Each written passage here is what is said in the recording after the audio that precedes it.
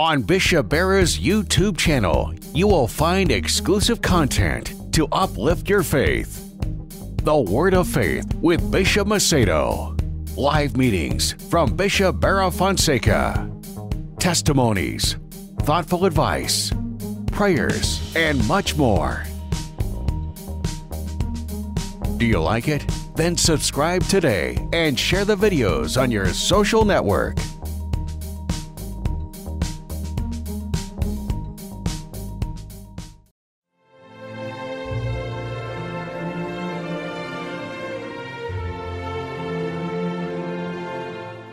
You are listening now to A Word of Faith with Bishop Macedo.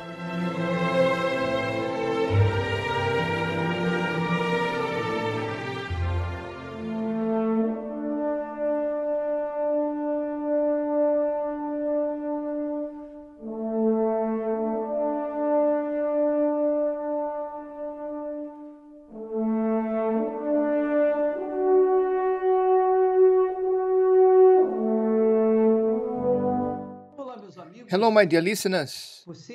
You who believe in the Word of God, you are already blessed because not all that believe, but the ones who do believe, they see the signs of God and they will see the signs of God. It is a promise. Jesus said, Go into all the world and preach the gospel to all nations.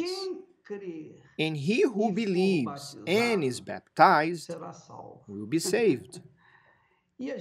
And of course, we know and we see this in the beginning, or beginning with Abraham himself. We are speaking about Abraham. And it's very interesting for you to know that God spoke to Abraham as the scripture says, Genesis chapter 12, 12 verse 1, when God, when the Lord spoke to Abraham, get out of your country and of your relative in your father's house to the land that I will show you. And what has been calling my attention to this is the voice of God to Abraham. And I want you to meditate with me about this because this voice that spoke to Abraham, it was not, it did not come from the mountains, it did not come from the wind, it didn't come from the desert. This voice came in his mind, in his intellect, in his thoughts. Because God is spirit. And we also have spirit. And our spirit is in regards to our mind, our intelligence, our capability of making choices, to choose what is right or what is wrong, to make choices of good or evil, to choose blessing or curse. So, this is in regards to our intellect. And it says that God, Lord, spoke to Abraham in his mind. Abraham got, heard God's voice in his mind. And it was also what happened to me. And it has also happened to many others that has been giving ears to God's voice. So then, God did not speak in Abraham's heart. God doesn't speak in the heart because God knows that the heart is a, a, a sea of emotions and feelings. And that's the, the truth. So the heart is receptible to the circumstances. The heart feels. And also, the heart tries to impose its desires and wishes, which are not always with our reasoning. It's not always according to our reasoning. And it is in our reasoning, in our mind, that we make the choice to do what is right. The heart never chooses to do what is right. Who wants to do what is right is the head. So much so that there are many people that they make choices of marriages or get married because they hear the voice of the heart. And that is the reason why there are so many divorces and people no longer wanting to be married. But when a when person hear God's voice, they don't hear it in the heart. Because God's voice, it is not to bring no feelings. It is not to bring about emotions or chemistry. The, vo the voice of God is the voice of intelligence and wisdom. And it is the voice that gives you tips for what is best in your life. So God spoke in the intellect. God spoke in the very intellect of Abraham. Because God is a spirit. And he spoke in the spirit of Abraham. So Abraham heard God's voice in spirit, in his, in, in his spirit and intellect, in his intelligence. And when God, and when God, he speaks, he does not speak to the heart, but he speaks directly to the intellect. And once he speaks to the spirit, because it is from God's spirit to the human spirit. It was from God's spirit to Abraham's spirit. So Abraham heard that voice, and that voice convinced him to do what was the right, to make the right choice. So Abraham was convinced by the Holy Spirit. Jesus once said, when the Holy Spirit would come, he, the Holy Spirit, would guide us into all truth. He would convince us from sin, from justice, and also of wisdom. And Jesus, in the person of the Holy Spirit, spoke to Abraham. So it spoke directly to Abraham's spirit saying, Get out, go from your country, from your family, and from your father's house to the land that I will show you. So God's Spirit spoke to Abraham's spirit to get out of the land.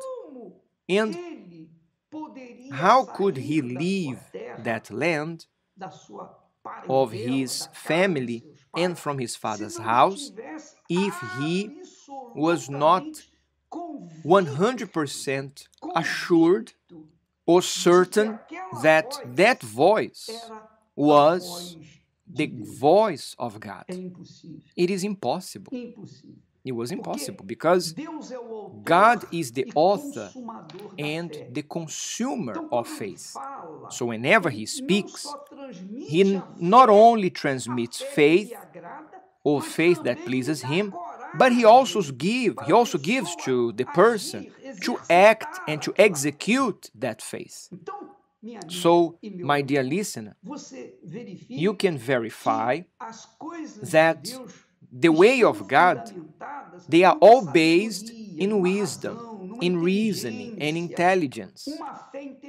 A faith which is intelligent, a faith that weighs and evaluates. And then, of course, makes the decision. In Abraham's case, Abraham and God, God spoke to Abraham. Abraham heard and obeyed. He was not forced to obey, no. Abraham obeyed by free will because he was assured, he had certain, and he was convinced by the Creator himself. So Abraham had no fear. He did not waver to leave the country, to leave his family and his father's house, to go to now to a strange land. And that God was going to show him. It is obvious that he, Abraham, was certain that God was not going to fail him. Because Abraham, as we have been saying, Abraham was already he was already accustomed to be of his word. Matter of fact, Abraham was a man of his character. he was a man of his character.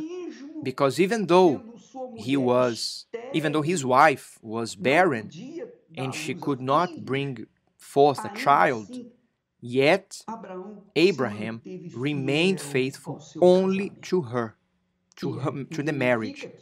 and in that time Abraham had the right he had the right to have concubines he could have used the slaves and to bring forth children for himself.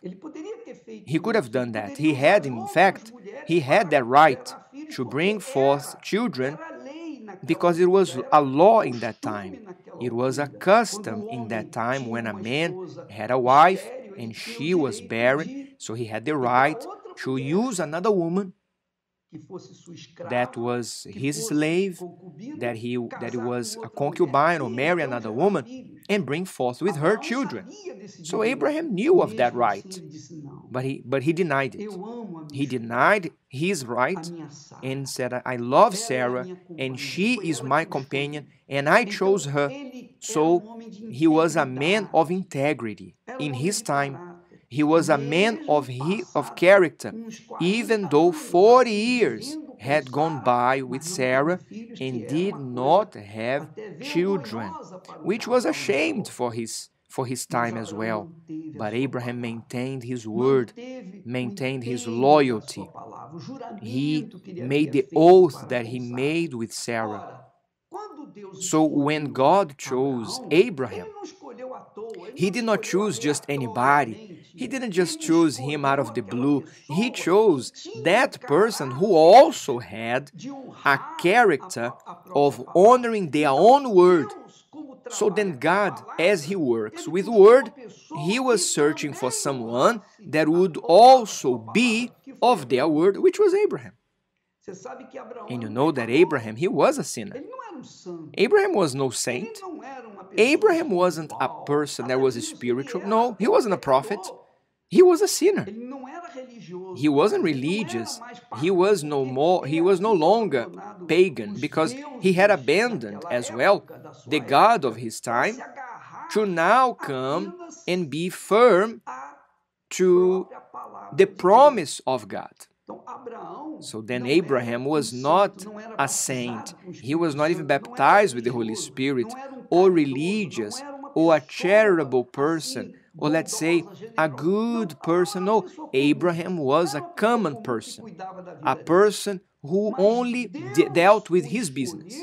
And God chose him simply because he saw a man of his word that would honor his own word. He honored his word to Sarah, and of course, he was going to honor his word to God. So that was how it took place. There was an exchange of word. God spoke to Abraham. God spoke in his intellect. And when God spoke, Abraham then convinced and immediately he went on obeying and began to obey to the word in which God had given him. And Abraham had no reference. Today, we, on the other hand, we have references. Abraham. So today we know of him. We, we have the Holy Scriptures that shows, that proves, and we see in Abraham a man of faith. And of course, we do this because one day we had the privilege to hear the word of the Lord Jesus through the Holy Spirit that spoke to us. So we also obey. But we had we had Abraham as an example, as a reference. But Abraham, he had no reference whatsoever. Abraham did, there was not even law. There was not even the law of God in his time. There was no law. The law of God came with Moses years later. So then you can verify, my dear listener, in, in which I want you to understand that when God speaks, when God speaks to us, there is no chance to deny, or there is no chance to turn your back and disdain or, or brush it off. When God speaks, we are to obey and they are convinced by God Himself in the person of the Holy Spirit.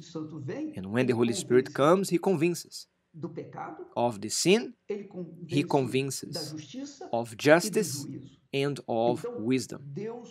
So then God convinced Abraham to let go of his land, to, of his family and his father's house, so that God could do in Abraham a nation, generate and bring forth a nation, even though there was a great circumstance that Abraham had already 75 years old and she, Sarah, 70, and she was a barren woman. But God promised, and Abraham believed. He believed in the invisible, he believed in the impossible, and became then the father of a great nation, father of the Islam, the father of Jewish, and the father of the Christianism. So Abraham, he became the father of three great religions that we have in the world the, the Muslims, the Jews, and the Christians. And why? Because he heard the voice of God. So, my dear listener, do not be deceived. Do not be fooled with the voices of the world and not even the voice of your heart, because God, He doesn't speak to the heart, and God knows that the heart is corrupt, is corrupt and cruel, deceitful.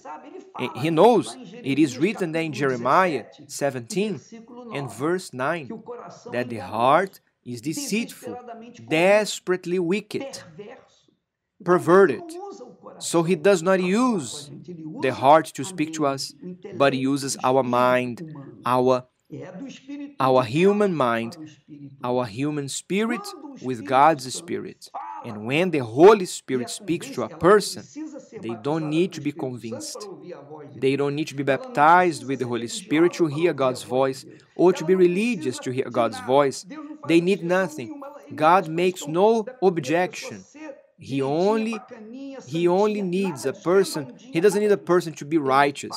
He speaks directly to those that are of a good character, those of good sincerity, who are sincere and they are truthful and they are clear, crystal clear, even though if they are in sin.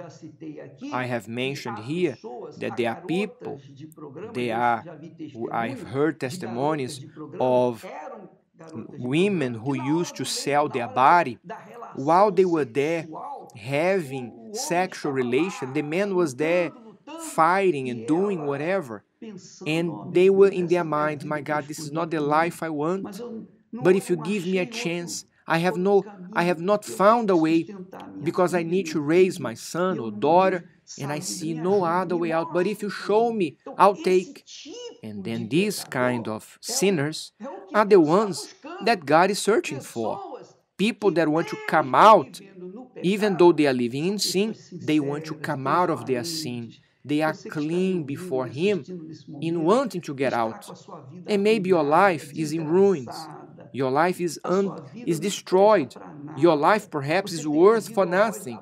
You have been you have been hearing the voices of your heart and you say that there's no chance for you. There is a chance for you who is a, you who are pedophile or you who are thief or are thief, you are an assassin. Or you did what was not worth.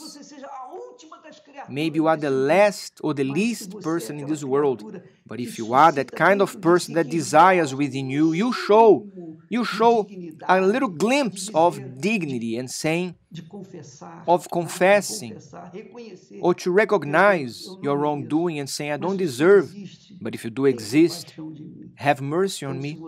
So then, if you do that, wherever you are, because God is searching for people that truly be sincere and clear, transparent, even if they are in sin. Abraham, as I said, he was a sinner, but God spoke to him. God spoke to him, and he heard, obeyed, and look, until today, we speak with joy in our soul about this, this man who lived. Jesus, of course, he, Jesus is not even on the list because he is the Lord who spoke to Abraham. But Abraham, he is a great ancestor of humanity because he heard the voice of God in his intellect. and convinced by the voice of God, he obeyed. Convinced. If God did not convince, my dear listener, don't do nothing. Don't participate of campaign of Israel. Do, do nothing. Because it is not going to be worth.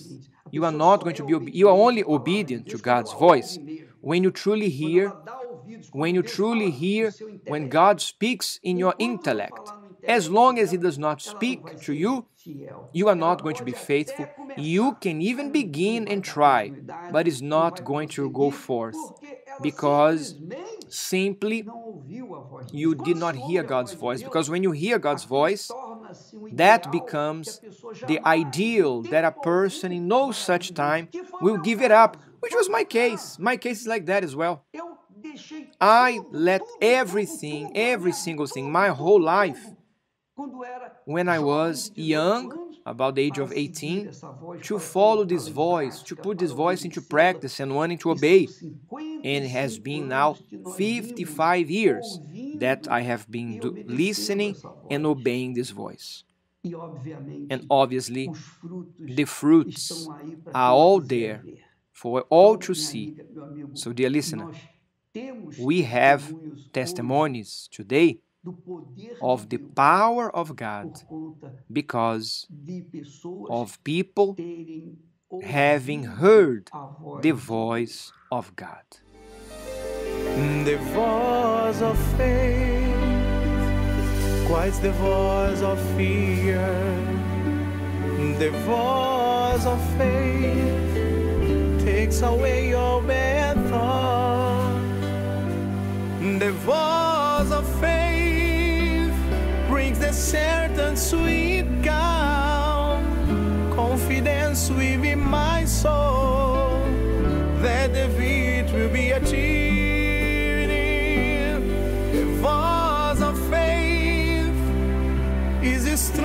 Than. Even against the great storm, the house you'll never be.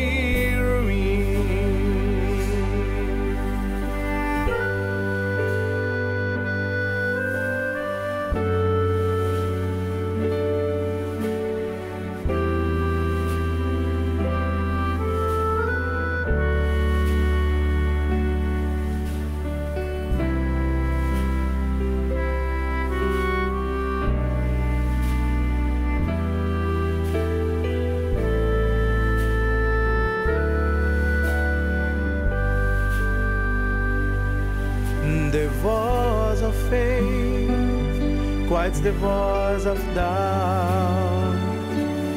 The voice of faith is the cedar never changed.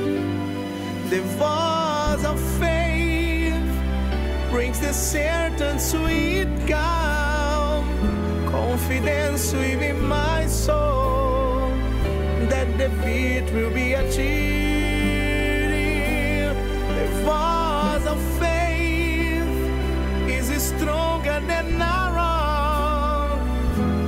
Against a great storm, the house you'll never be ruined. The house you'll never be